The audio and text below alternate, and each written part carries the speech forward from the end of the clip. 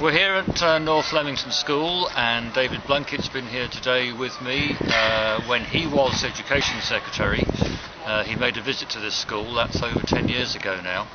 Uh, he's heard about its success and wanted to come back and see it.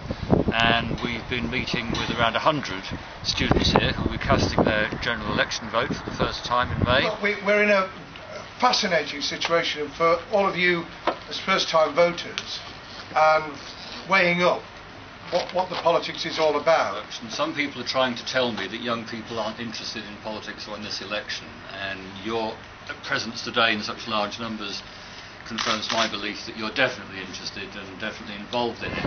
Young people said that they cared, that they were likely to vote, and they wanted to would be if they voted for James Plaskitt, and the answer was very simple. James would be there with a voice, your voice, actually putting across policies that you care about, being accountable back to you. Ben? Yeah, I thought it was really good, really informative. Um, politicians giving their actual opinions and actually what they thought they were going to do rather than just going around the um, issues, so that was good.